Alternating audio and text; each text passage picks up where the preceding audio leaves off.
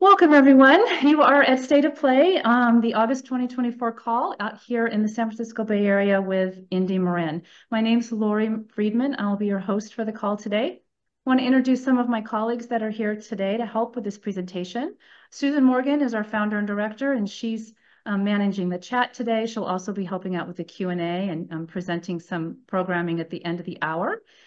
Big thanks to her for all of her support in these calls. Um, Betsy Guthrie is our Zoom lead. She'll also be talking about canvassing today. Thank her for all, I thank her for all of her work um, behind the scenes to make these calls possible for us. Joy Martin is a co-lead of the writing team, and she's here today to present that program. Susan Spitzer is from texting, and Jane McClure is one of our senior uh, phone bank trainers, and she'll be here today to talk about our phone banking program. Next slide, please. Our agenda has been fairly consistent over the course of the last couple of years doing these calls. We'll talk in general about the election landscape. I'll do some updates on the Senate and the House races. We always pick one area to go in depth with every call, and this obviously today it will be the White House and the presidential race. Um, we'll end with um, a brief overview of the voter outreach landscape and then our team presentations on how to volunteer and all of the races that we'll talk about today. Um, it's a very data heavy presentation. There's a lot of information. Uh, we usually go close to the end of the hour. I'm happy to stay over for a few minutes, about maybe 10 minutes or so after the call to answer some questions, um, but we'll try to get to them um, if we can before the end of the hour. Next slide, please. All right, uh, changes in the national landscape. We've talked a lot about the Democratic advantage in this election. This was before the change in the ticket. We knew we had a lead in fundraising. We know we have better grassroots. Uh, we have an incumbency advantage really across the board. Um, but there's a lot of new, obviously, changes in the last month that have just are, really are of a historic nature. The Kamala effect is real. It is documented in voter enthusiasm, um, in voting patterns. We're seeing an increase in volunteers turning out, hopefully taking action today. Um, we've seen spikes in fundraising and voter registration. Um, another change that we're starting to see, and this is the time of the cycle where you're going to start to see the parties move money around in response to their own internal polling and their internal information. And we saw the first crack in the RNC this week when they pulled their Senate money out of Ohio, um, which was really kind of a, a surprise. Um, and they're going to be turning over that to the dark money super PAC. Um, but they're they're fairly limited on funds and they're starting to move things around, and that's a good sign. Um, we have put initiatives on the ballot across the country in states, over two dozen states, from anything from voter um, security to reproductive rights to gerrymandering, uh, minimum wage. Um, and it's a way to uh, drive voter engagement um, and get more people involved in the election process if we can get these initiatives on the ballot. And updates on that, uh, we're really excited that Arizona got um, their reproductive rights initiative added. We're hoping for Montana and Nebraska later this month. On the issue front, no changes in the polling. The top three issues continue to be inflation and costs, reproductive freedom and the immigrate and immigration and the border. Depends on who you're talking to and where you are, but those are consistently still the top three issues. In California, though, you will expect to hear a lot about climate, climate issues, especially around um, the financial costs of climate change. Next slide, please. All right, I'm going to start with the Senate. Um, briefly, as an overview, we'll be at 50-50 in November. When we vote, we will lose West Virginia. That means that if everybody holds their seats, whoever wins the presidency will um, control the Senate. Um, there are 34 races up for election this year. Only seven of them, though, are considered vulnerable. The challenge for us is that they're all ours to defend. We don't have an opportunity to flip a seat or pick up one like we did with John Fetterman's seat in 2022. There are two states that have um, less competitive races, Texas and Florida.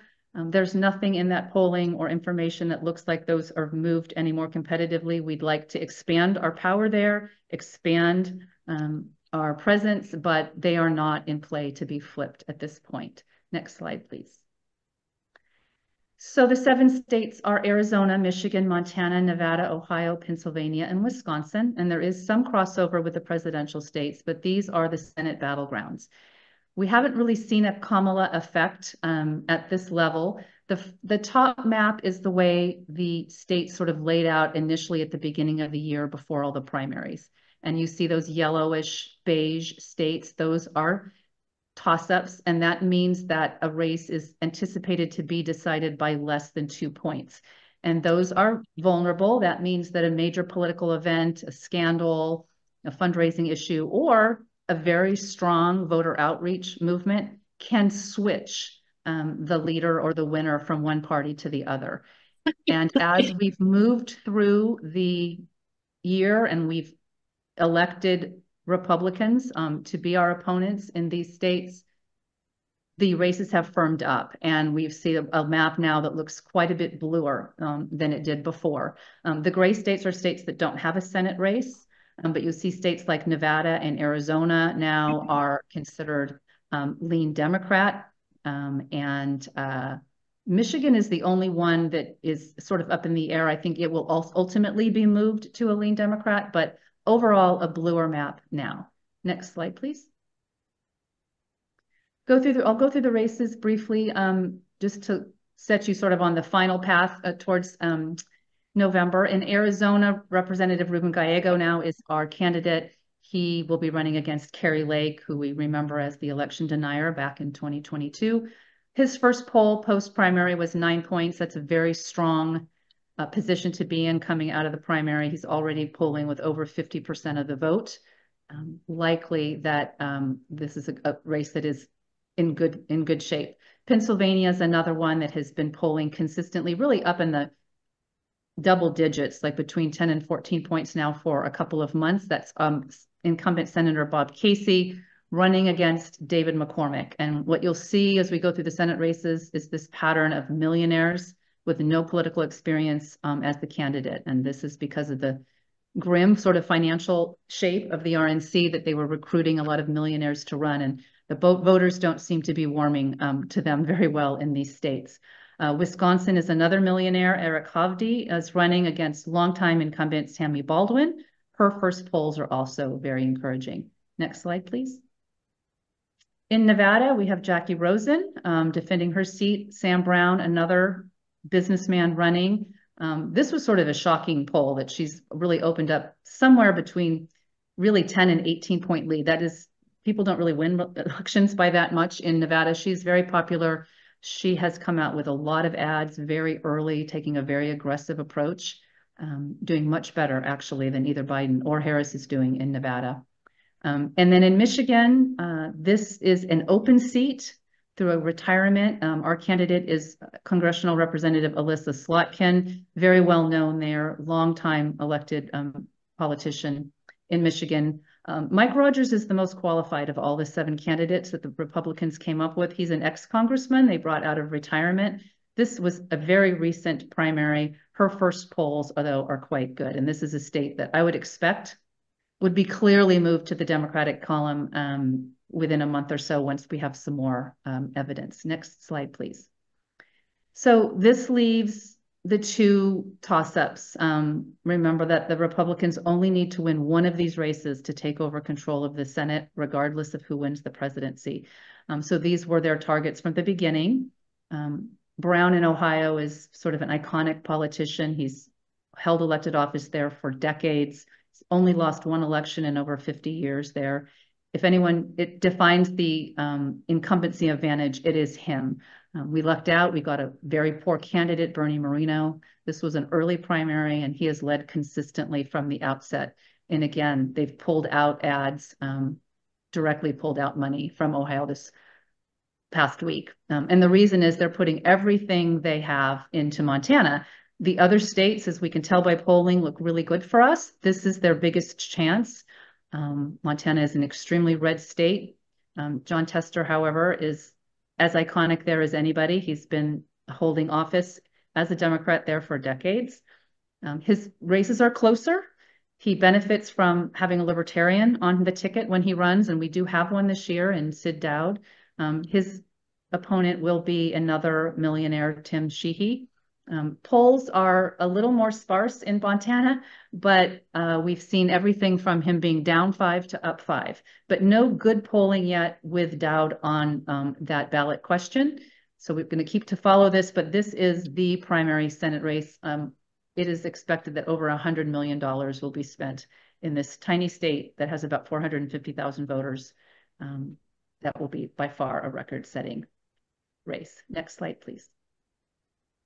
On the House side, we need to get to 218 to flip the House. That is a very, very clear path, uh, clear road to do that. That is not an insurmountable challenge at all for someone in our position. We will get a general election bounce. Democrats vote more frequently in presidential elections, and we lost a lot of seats in 2022 in the House by very small margins.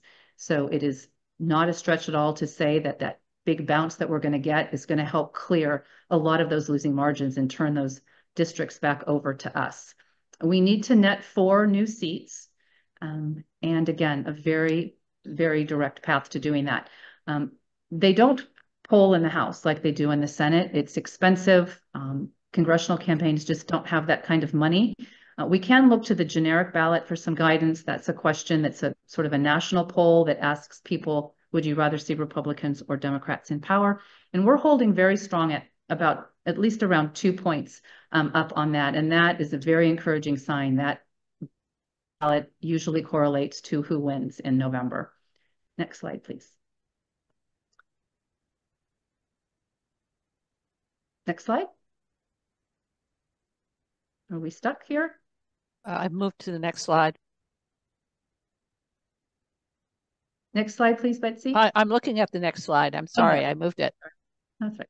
Um, okay, so uh, battleground uh, for the House. Um, this is map is sort of deceiving because so many of the blue Democratic districts are very tiny and bunched along the coasts um, of either both sides of the country. But we really do just have four less seats than they do. Um, the yellow ones again are the toss-up races. Those are the ones that are likely to be decided by less than two points. That's where we focus. 95% of flips that happen um, during uh, on for the House happen in those toss-up districts. So that's our strategy to hold on to the 12 toss-up races that we currently hold um, as incumbents and then work to flip four on the other side. For every race that we lose as a hold, we have to pick up another flip and there's not that many to choose from. So the holds are extremely important.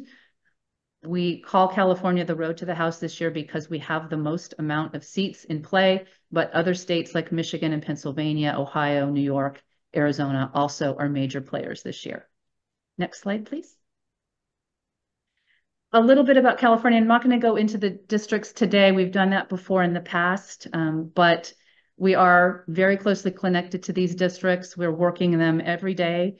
Um, we have a lot of contacts on the ground, and I have talked to the campaigns myself, and they are definitely seeing a Kamala effect all the way down ballot in places like the Central Valley. They're seeing an increase in voter registration. They have felt uh, seen an, a fundraising bump for themselves, more volunteers. So definitely coming all the way down um, to congressional races. And they're very excited and they, they are hoping that that additional bounce will help, especially here in California. We're likely to see a lot of voters very excited about electing someone from here um, as our next president. The polls are internal. There's not a lot of um, exact information coming out, but all five of our candidates are leading. Um, and those those include four challengers with longtime incumbents um, and one hold. In 13 and 22, and I think Betsy can show you there on the map where they are with the cursor, are in our Central Valley. And then 27 is above Los Angeles. Um, we've got 41 out in the desert area and a small district, Katie Porter's district, um, is up for grabs in Orange County. One quick shout out uh, to our phone team. I know many of you are here today. Uh, Rudy Salas is running in 22, and um, we have made more phone calls into this district than any other district in the state. Um, and it's not a surprise that he has the largest lead of anybody in California, any of these five districts. Um, just more evidence that phone banking and voter outreach really does make a difference. Next slide. All right, we'll get into the presidency. That's where um, I know everybody really wants to to get into the into the meat of what's going on right now. Um, when we talk about the presidential race, we talk about battlegrounds too. There's seven of them, and they are there are some overlap with those Senate races we talked about, but they're grouped into two areas. We talk about the Sun Belt, uh, which are the southeast and the southwest part of the country, Nevada, Arizona, Georgia, and North Carolina. And those states usually are a little bit stronger for Republicans. Um, the Rust Belt states, Pennsylvania, Michigan, and Wisconsin tend to be historically a little bit stronger for Democrats, but both parties have won in both areas, um, just a slight advantage. Um, Biden um, is, was especially strong in the Rust Belt. He's from Pennsylvania. It's one of the reasons that Obama chose him many years ago. Um, we call, call that area now sort of the blue wall. Um, and the question really is, is what is her electorate? Is it going to be the same as Biden? She seems to be a little bit stronger now in those Sunbelt st uh, states. Um, she still needs to do some catch-up work in the Rust Belt, um, but that's sort of the way it lays out. And as far as the map goes, um, the first map on your left is the way the states looked in May, before the primary, before the debate, um, sort of at the beginning of the election season. And you can see there were quite a few toss-up races. Um, one lean Republican state in North Carolina, but the rest were considered a toss-up. The map to your right is the map after the debate, and you can see it looks much redder. Um, some of the blue states got lighter blue, and we, we lost a lot of the toss-ups um, as they were moved to lean Republican. After Kamala took over the ticket, the map has reversed. It's gone all the way back to the way it was. So she's completely reversed, at least on the map, um, the trajectory that we were headed um, after the debate. Next slide, please. The state of the race is um, often described uh, through national polling averages, and this is just a daily number that people come up with by averaging polls. And it's helpful because it shows the amazing trajectory that she has accomplished in just a few weeks. Um, this would uh, this would uh, correlate to the popular vote that she's up by two points now after being behind by by well uh, Biden behind by so much more uh, the day he turned over the ticket to her. But as a reality check, at this point in 2016, Clinton was up six points, and in 2020, Biden was up eight points, and he held that lead all the way through election day. He lost, he won by about half of that.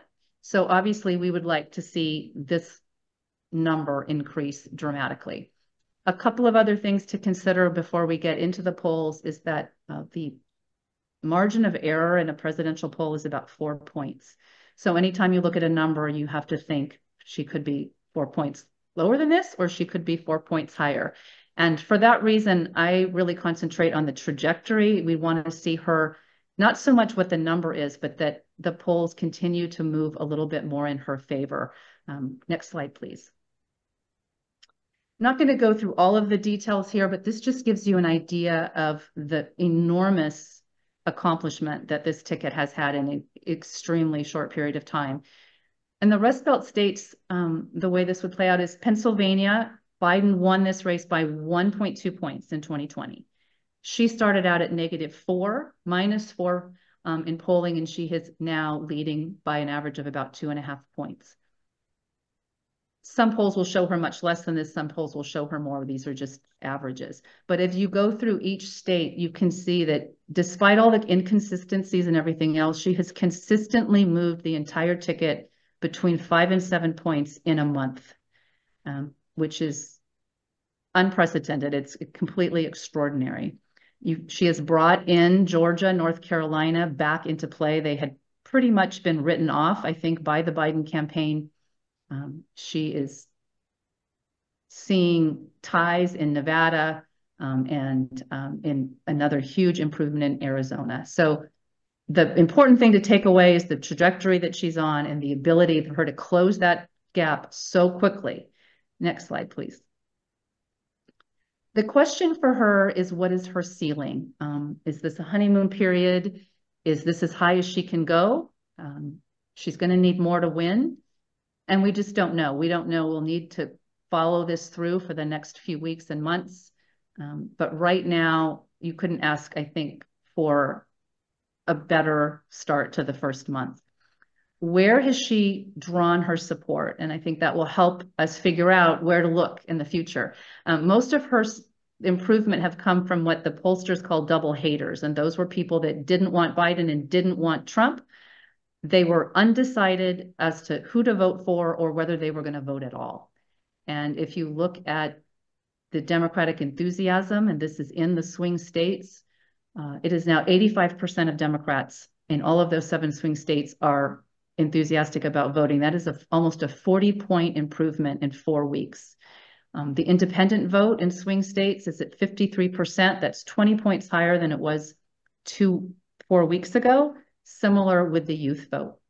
Um, the other double hater group are Kennedy that didn't want either Biden or Trump and had decided to vote for Kennedy. He was at about 15% of the vote those states. That is more than enough um, to have been a disaster. Um, he's polling out about 5%. That's still enough to be a problem, but losing significant amounts of votes. His, his campaign is really flailing. They're having all kinds of legal issues.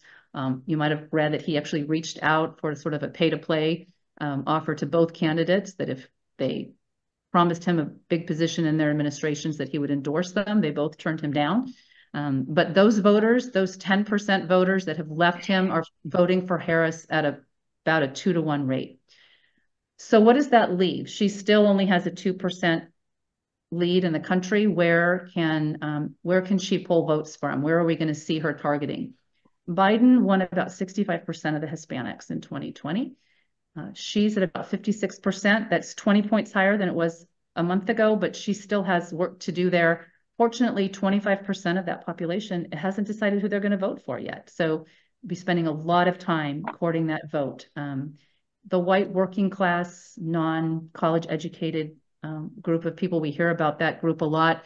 That was the group that Hillary lost really in 2016. That is where Trump gets most of his support. Um, however, Biden was able to take enough of it away in 2020 to win um, and then fell off again um, during his administration. Right now, she's at about 41%, which is actually really good. She's picked up about 11 points, but this isn't a population that she's really going to need to work with. They're about half of the voters in the swing states would be considered white working class voters. So that's where a lot of um, her emphasis will be. Fortunately, um, the number one issue in both of these groups is the economy. But recent polling, I think to everybody's surprise, has shown when voters are asked, would you prefer Harris or Trump? Who do you trust more to handle the economy? She is rapidly rising among that group, probably why she laid out her economic plan on Friday. Um, but she's he's she's really only within about five points of Trump of taking over Trump as somebody that voters would rather see in charge of the economy. So we're right there on that sort of precipice of where um, she's going to end up. Um, is she at her ceiling? Is she going to be able to move into these groups um, and improve her standing even more? Next slide, please. So what are we going to look for? Um, her approval rating has also jumped almost 13 points in four weeks. That's really unusual. Um, if she hits in consistently into the low 50s, it will be very hard for her to lose this election. Um, it's uh, an approval rating over 50% almost always leads to a win, and she's quite close to that. Um, she needs to stay on offense. She's done a great job of that by controlling the news cycle, sort of selectively leaking out little negative things that get lost in all the noise of everything else that's happening. It's really been a masterclass in strategy, political strategy, and campaigning. But she does need to move beyond those double haters. She's going to need to get into further uh, more of the youth vote, the Hispanic vote, and that non-college educated group. All right, next slide. A little bit preview of the convention that starts tomorrow. Um, I don't know, to start off, I don't know who the musical performers are going to be. Um, that is a very hush, hush topic, um, but supposedly there will be some. She has, however, put a little bit of a kibosh on that. She does not want to be seen as sort of Hollywood, California. So it might not be quite the Beyonce um, performance that we were hoping for, but there certainly will be some. This is the speaker um, layout. Uh, the theme of the convention is History is in Your Hands. Each day has a different theme. You can see who the speakers are going to be. The highlight um, on Monday will be President Biden uh, speaking. He'll be sort of the keynote speaker. On Tuesday, the Obamas will be there as well as Doug Emhoff. Um, Barack will give the that keynote address late in the evening. On Wednesday, that is Vice Presidential Day, Pelosi and Bill Clinton and Pete will be speaking. Um, and Governor Walz will accept his nomination that night. Um, Thursday, uh, Vice President Kamala Harris will accept her nomination. We know that we won't have the big ceremonial vote that we normally have. She's already been voted in several weeks ago, so it will be mostly speeches um, and hopefully a few musical performances uh, during the week. Next slide, please. Before I turn this over to our teams, I just want to do a little bit of covering the voter outreach landscape. Um, we've talked about the electoral landscape, but it's um, time to really let, concentrate on voter outreach at this point. Um, the priority is the House. We need to, regardless of um, what happens, the House is what I would consider the line in the sand. And that was a quote actually that Rudy Salas, who's one of our candidates, said and when he met with our group, um, that the House is the line in the sand. And that's because if she wins, um, we need to give her the tools to govern. If she doesn't have control of one of the houses or one of the branches and chambers, she will be a one-term president. I think we can all imagine the way the Republicans would paint her as somebody who could never get anything done as a woman and as a person of color. So we absolutely need to give her the house. When I'm making phone calls or writing postcards, I think of myself as working directly for her. Um, she can't be successful if she doesn't have the house. If we lose, the house would be the only thing that would stand between us and Project 2025 taking over um, our country. So it is critical. Um, and the, the challenge with the house is that it's difficult to get out of district volunteers, out of state volunteers to come in and work at a house race. They're local, they're not as high profile. People are very drawn naturally to the presidency and the Senate. So if you live in one of those states like we do here in California or a district, uh, you're near a district, that's a great place for you to put your energy because it's unlikely that people that live further away than you will volunteer. We're adding our work for Harris and Walz on top of our commitment to the House. Um, and if you would like to work in the Senate, Montana is definitely the best state to work out of district, or you're not, if you're not in Montana.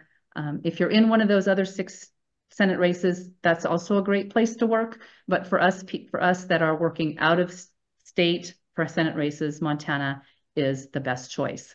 And then lastly, when do you want to start working? A lot of people say, I'm going to volunteer in October. The way Democrats win is by an effective get out the vote, early vote program. We are very good. We our voters tend to want to work, want to vote early, and we're very good at getting them to vote early if we have enough people. The idea is to move as many Democrats as possible off of the voting list as soon and as early as possible once ballots drop. That gives us um, the ratio of volunteers to voters that still need to be contacted is much more ideal. We don't want to be spending a lot of time training people close to the election. This is the best time for you all to start with phone banking, learning how to canvass, sending texts. We want everybody, not only our volunteers, but our people that train the volunteers to be doing the direct voter outreach once ballots drop. That will happen as early as September 20th in parts of the country, but the entire country will be voting by the first week in October. So that gives us about six weeks to do this.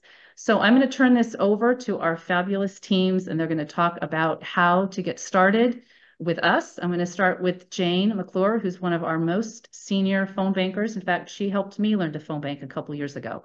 Um, so I'm going right. to let her take this over. and I'll be back to talk to you guys later about um, the races if you have questions.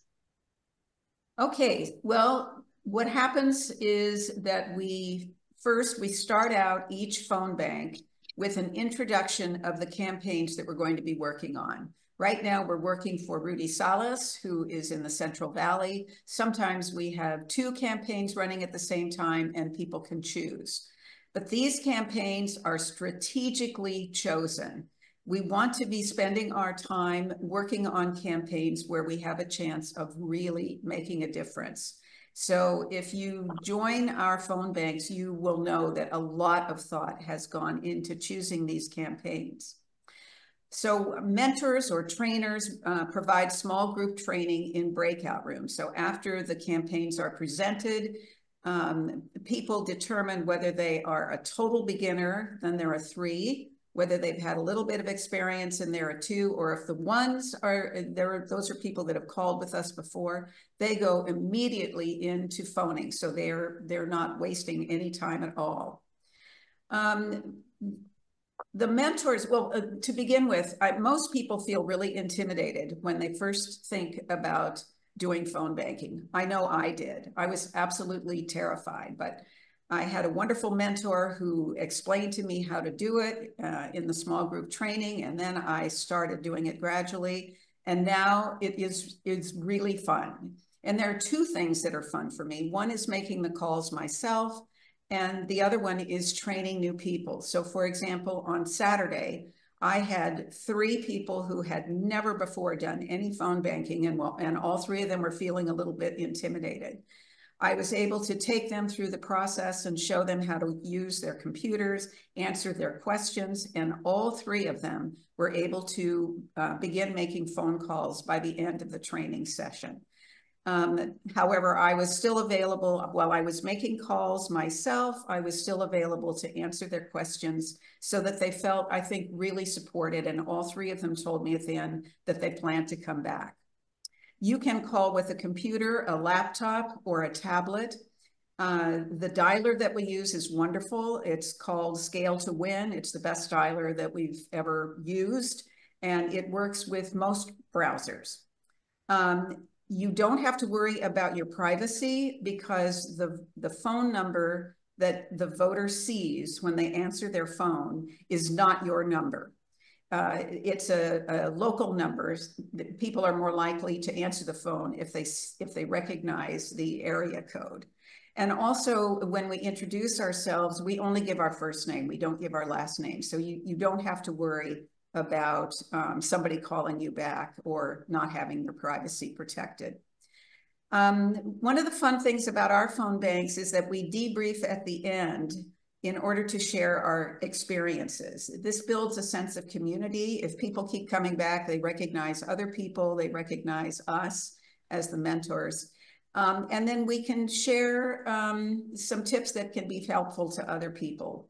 Like uh, we had several uh, uh, tips shared this past Saturday. Uh, people were being asked some questions that they weren't sure how to respond to the voters. And another person could say, well, this is what I tried and it worked really well. So the last 15 minutes of each phone bank is a uh, debrief session. So um, as I mentioned before, right now we're calling to CA22, hoping that Rudy Salas will be elected to the House. But very soon we're going to be moving to making calls for Vice President Harris. So that's that's the deal about phone banking, and I hope that many of you will decide uh, to join us. As I said, once you get comfortable with it, it's really fun. Oh, and why phone bank? Okay. Oh, yeah. And this is what we fear that, that the voters will resent the interruption of a phone call. And in, in reality, there will be some people who will say, I'm too busy now. You will have some hangups. That's just normal. But many people actually welcome the information because we're providing them with information about where to vote, how to vote, etc.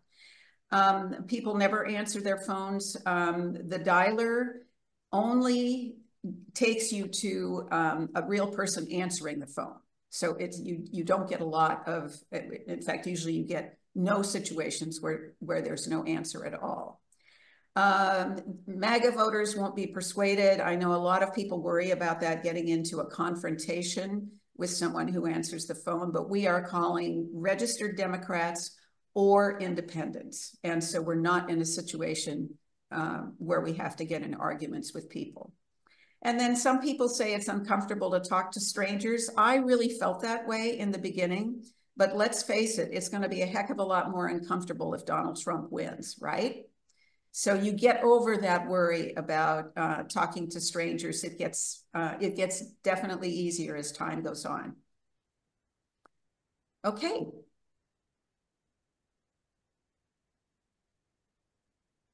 Hi, I'm Joy Martin, and I'm the co-lead of the writing team with Lori Freeman.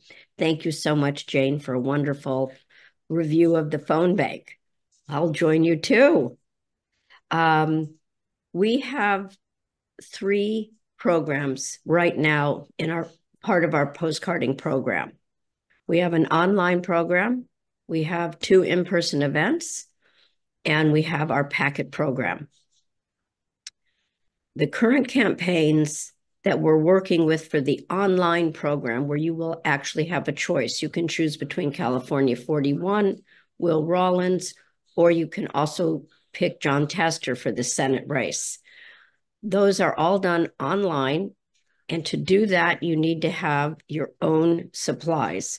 So prior to requesting them, you make sure that you've got your postcard and your stamps. And then Lori will provide you with your list of addresses and the current script that we're working on.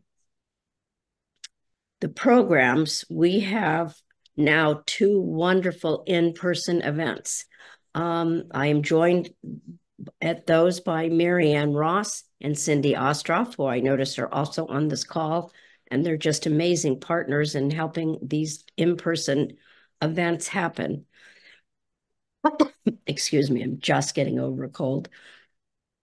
We have had up to 53 people come on a Tuesday morning to Panera. Now, of course, you do have to be local for these to be an option. One is at Panera in Novato on Tuesday mornings. The other one is in San Rafael. It's in the at a restaurant called Ounces. It's an outdoor venue. It's great for getting together, getting a glass of wine, getting a little bit of food, and writing with like-minded people. And for that, the online one for the I'm sorry, excuse me, for the um, packet program, we are only doing one uh, option, and that is for uh, just for District 41. We've just finished up with David Min, and we had a wonderful turnout. We went through all of the addresses that we received. The local, the packet pickup is also for only local people. And in the, we have a bin in Greenbrae and we have a bin in Novato. And when you sign up, it gives you the address of what the locations of those bins. The packet program, which is the in-person, they come with packets that provide you with everything. You get your addresses, you get your postcards, you get your stamps, you get stickers to decorate and make your, excuse me, your postcards look fun. I just have an example. I'm going to just quickly hold up here for you where we kind of highlight it. We have addresses on one side, and it's just fun. And you're sitting and writing with like-minded people. Each packet costs $5, and that kind of helps cover some of our costs, but as stamps keep rising, it doesn't quite cover it. So anything you donate is appreciated. Um, yes, our campaigns are going to keep changing quite quickly. So, um, and we've had just an amazing burst of energy for people coming to our postcarding events and coming to the bins. If you go to our website, you can sign up for any of these things. You can reach out to us directly. We will answer any questions that you have. Um, and thank you again very much for being here. Next slide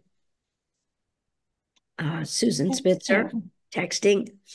Hi, Joy, go rest your voice. You're you're always such a trooper. We're so happy you're showing up, even if you're getting over a cold. So feel better. Uh, I'm Susan Spitzer, and I am helping out with the texting program again. Uh, again, this time around, um, this time around, I think it's more fun because we've got so much more energy, and people are excited when we reach out to them. So, what is texting? You know, texting is you get a text on your phone, right? a lot of texting focuses on th this is not what we are doing, okay? The campaigns are always asking for money and those texts are annoying. That is not what we're doing. We're not asking people for money. What we're doing is texting, generally speaking, people who are Democrats or we think that they're likely to be Democrats.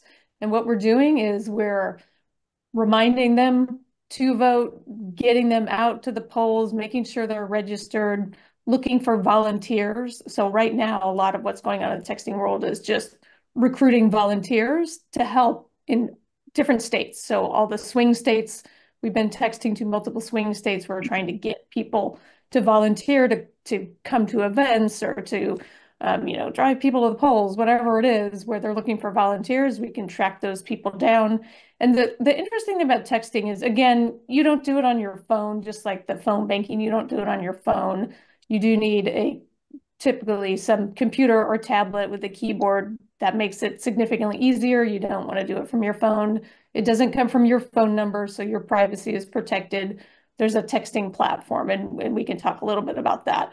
But the, the interesting thing about texting is you can reach thousands and thousands of people with one single session of texting, just individually. I think in the 2020, I think I told Susan I texted 300,000 people, which was difficult. I, that was a lot of text, but you can really scale with the voters that you reach. And you may not always hear back from them. And typically speaking, you're, you're not going to have all those people texting back to you. But what you're going to have is people do read those texts. You know, when you look at the research, most of those text messages are being read, even if they're not being replied to.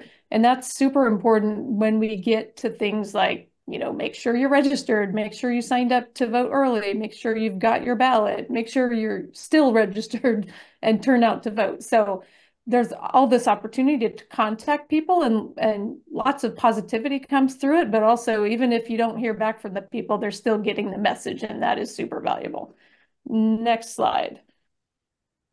So right now what we're working with actually really fortunate right now to work with Gavin Newsom's team and yes he's a California guy. He's not we're not trying to get votes for him but what he's doing is his team has created this uh, basically database uh, of voters in all kinds of different states, all over the place, the swing states, you name it. We've got texting opportunities that his team has created to do things like recruiting volunteers and getting out the vote and all those things I just talked about.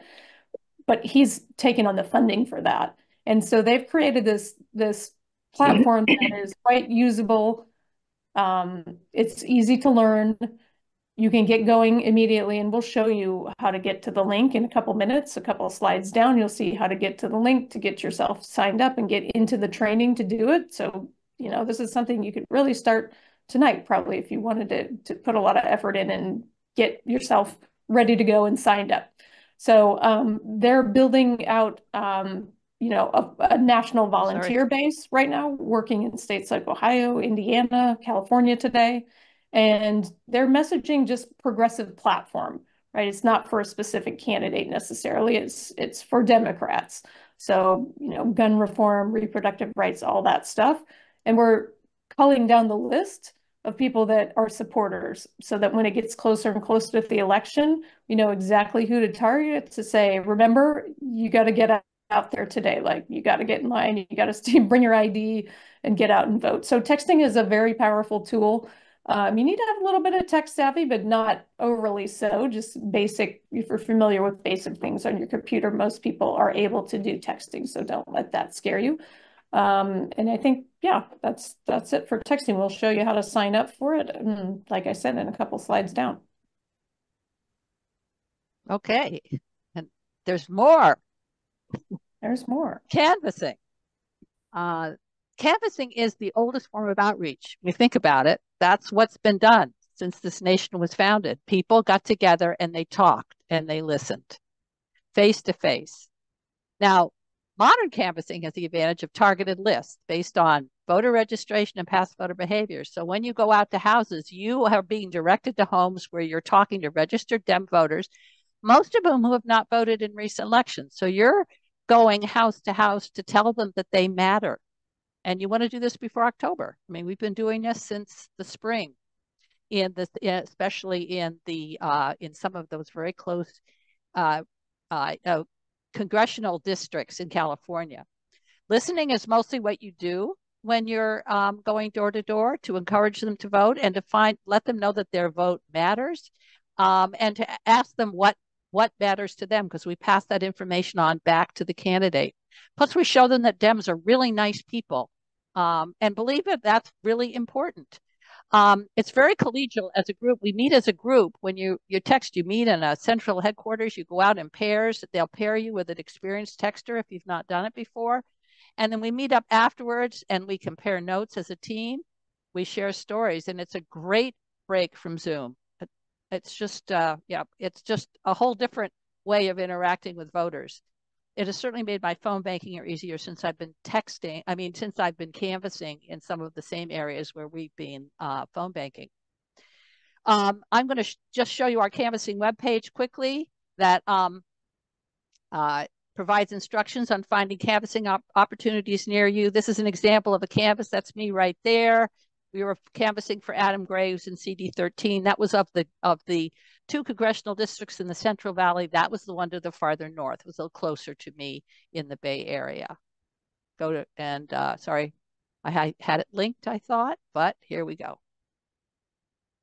So a little demo of our slide. Take action. We'll be seeing that earlier. Canvas voters. What I wanted to show you was that we uh, we lets you vote canvas from wherever you are. And I'm aware that people are on this call from all over the country. Now, if you're in California, we do have partner with the California Democratic Party and the Bay Area Coalition to canvas in CA 13 and CA 22. And that's this that, that is Adam Gray and that is Rudy Salas. They're both about two hours. Uh, no, um, CA 13 is about two hours, four locations. CD22 is about five hours. And for that, we have overnight, we have weekends, and they have um, stipends to help cover your cost of gas and overnight lodgings, although you often stay with other volunteers. Um, they uh, provide you with carpooling, uh, full support, and there's training. And right here for everybody, if you do not if that doesn't work for you in California, here's a step-by-step guide to find canvases near you. It's through Mobilize. It lets you know, I show you how to filter it and you can find um, canvases, hopefully in a swing district, but also canvases for some state and local races that may be very tight and they would very much welcome you um, when you sign up. So I hope you will consider canvassing and remember it comes with complete training and it comes with a lot of camaraderie. Okay, so now um, let me go back to the slides and um,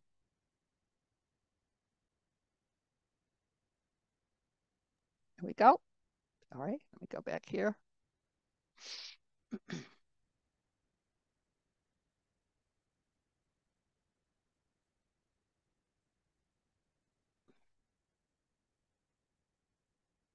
And we'll go to Dems Make Life Better.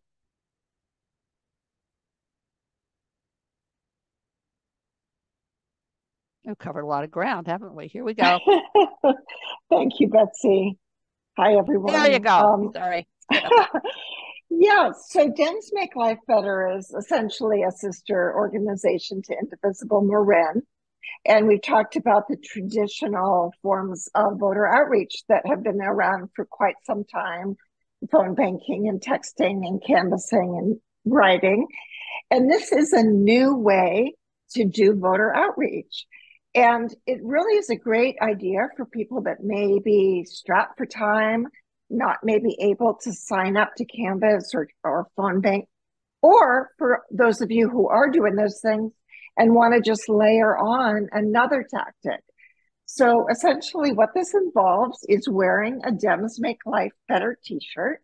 You can see here on the front of the t shirt is this positive slogan about Democrats, and on the back is really shorthand for our platform that we're working for reproductive freedom and creating jobs and wages and canceling debt and all these things that make up how and why Dems are making life better.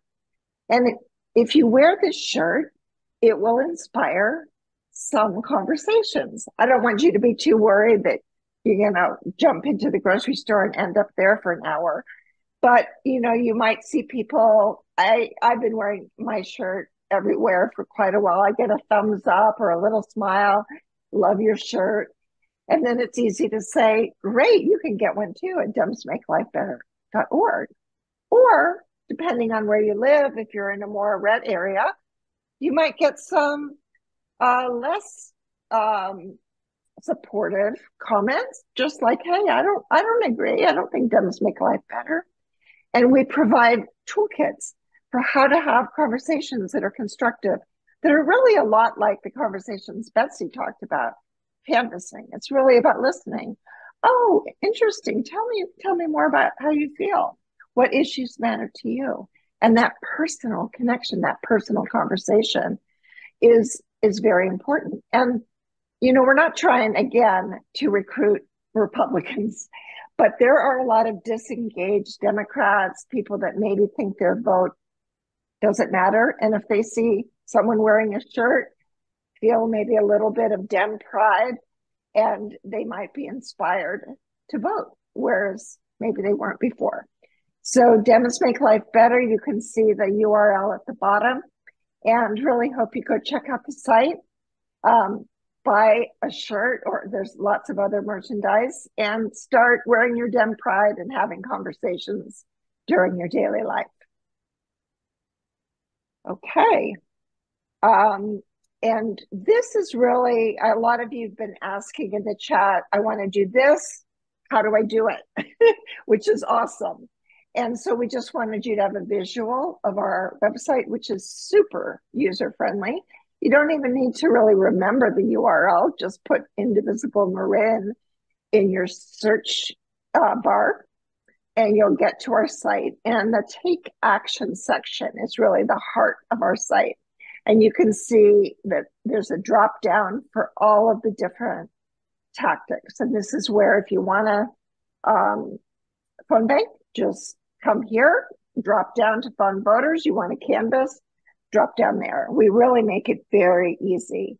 And we'll be sending all of you a follow up email over the next couple days with the recording to this meeting and links um, to our website and to some of the specific links for the program. So try to make it super easy. But if you still have a question, we're very accessible info at indivisibleMarin.org. We love hearing from our volunteers. We welcome any and all questions and get back to people within a day. So um, we hope you will be motivated by the information Lori's presented. Um, things are looking a lot better than they were a month and a half ago. Can't remember exactly when it all started to change but um, it's not in the bag by any stretch. It's going to come down to small numbers in key states, and that's for the presidential race. Um, and in the House and Senate races, you know, Kamala and Tim will only be able to be uh, transformative leaders if elected if they have that House and Senate majority so that we can pass the legislation. So helping um, in those key House and Senate seats is really important. And this is really what we're asking you. We presented a lot of ways that you can um, take action. We try to inspire a close community where you can feel camaraderie and support.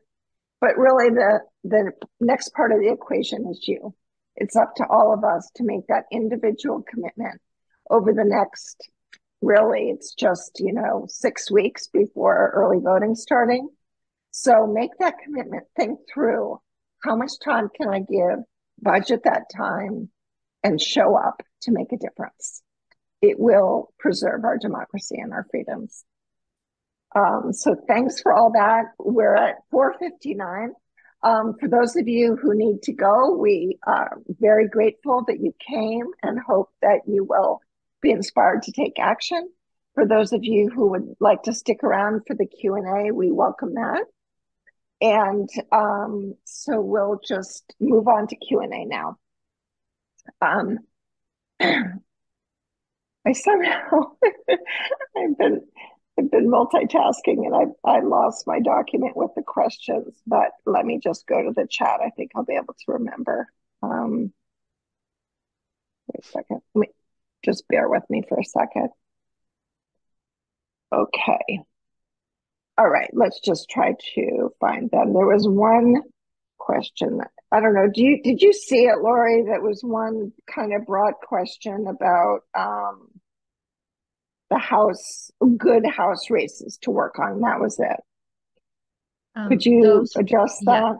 Yes, um, the best way to work in the house is to work in the closest house race that that you can. Um, and those are those 25 races. They are in California, New York. They're also Pennsylvania, Ohio, Arizona. If you have a specific area, just email us and I can hook you up with opportunities there. If you want to work here in California, then you can just work where we're working. Um, the thing about, and Joy touched on this about working in the house is we move around quite a bit. Um, there's not as many voters to contact in a House race as there is in a Senate race. So tend to go through those lists pretty quickly, especially on the postcarding side. Um, and some phone banks also and text banks will move around daily to different races. So it kind of depends on the tactic that you want to use, but you can reach out to me directly and I can I can help you.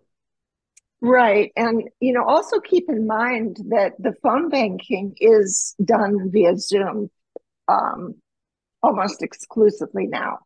So you don't need to live near one of these competitive house districts to um, make a difference. Um, that's why, you know, we are focused on two of the most competitive house races in the country that happen to be in California. But, you know, we all care about winning the house. So no matter where you live, if you support um, those two house districts by phone banging with IndiMarin, you are making a difference at the national level. And the same goes, you know, to many other um, house districts that you could call into remotely through other organizations. And as Lori said, she can steer people um, in that direction if you have a particular uh, house candidate you would like to make phone calls for. And I think that is, I think we've um, pretty much answered, uh, we answered a lot of the questions in the chat. Um, let's see, I live in Benicia and Solano. Are there similar organizations as organized near to me? Um, I'm not familiar particularly with Benicia, but both Indivisible uh, is a national organization with chapters all over the country. Also, Swing Left is another national organization with chapters all over the country. So you could go to those websites and search by zip code to try to find a um, chapter near you, or you could also look to find out if you, if there's a local Dem club. Um, and again, if you get stuck, feel free to write us info at indivisibleMarin.org. We really want to do all we can to get everyone working as strategically and effectively as possible. If it's with us, great. If it's with another group, great. We're, we're all on the same team. And what's important is being strategic and effective. And we want to make everyone who comes to one of our meetings empowered to find the best path for them. If you look on our calendar, indivisibleMarin.org, you will see a great big fat event called Introduction to Phone Banking tomorrow at 4 p.m. Pacific. Just so you know. yeah, and you know, please use our website. There's a lot on that calendar. We've worked um, really there, hard. Yeah, there's a lot there. Um, Lori uh, Robin's asking, do you know by any chance if there's a Harris campaign in LA? Um, campaign office, I should say. Campaign office. That's a great question. Um, I'm not sure actually. Um, My, how that. Well, how I'm going to just venture it. to say that I doubt it because yeah. I imagine she's setting up campaign offices in the key battleground states for the presidential so. race. Yeah, I doubt. I doubt very much that she's got an office in California. We well, won't see you, them everyone. except to raise money. Thank you, everyone. You know, let's, uh, wh- what does Tim Walz say? Um, we can sleep when we're dead. I love that. That we got to be, and excuse my colorful language here, we got to be balls to the wall, right? balls to the wall for the next, you know, and, and people are saying, oh, we have till November 5th. And we kind of do because there's certainly incremental additional votes that we'll get on the 4th and the 5th, and we'll be making those calls. But a lot of people are going to start voting in uh, September. So th- we're really in the sweet spot. All gas, no brakes. That's right, Julie. Well, and I, I love the, the DNC uh, history is in our hands. I think that it's everybody's hands, not just the people that are going to the convention, but all of us out in the country. It's, it's up to us. And that's one thing that's so inspiring about the Harris Walz campaign is they are making it about us, right? They are saying it will, it takes all of us, and this is a citizen-led campaign, and they're right, and it's very inspiring to be um, to hear those words from our national leaders. Okay, everyone, thank you for your time. We will send Thank for recording being of the here. meeting, the links, and all that, and stay in touch.